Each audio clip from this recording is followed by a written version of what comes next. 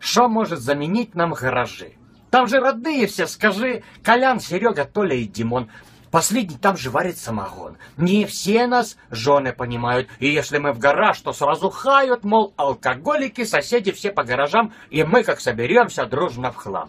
Но почему же трудно так понять, что в гараже задача не стоит бухать? В «Друзьях по гаражу» не надо видеть Люцифера. Там охуительно, там атмосфера. И если прикупил гараж, то сразу ты сподвижник наш. Кто малосолы там хранит, кто жарит шашлыки. Общим умом дела решают мужики.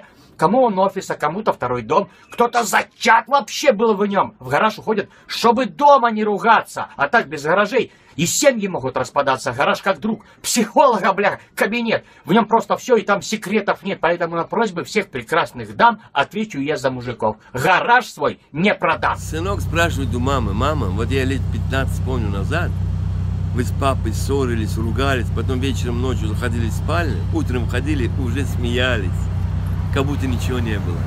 А вот сейчас ругаетесь, ссоритесь, ночью в спальню заходите, утром выходите, снова ругаетесь. Почему так, мама? Мама вздыхает, говорит, эх, сынок, тот, кто нас мирил, умер, говорит.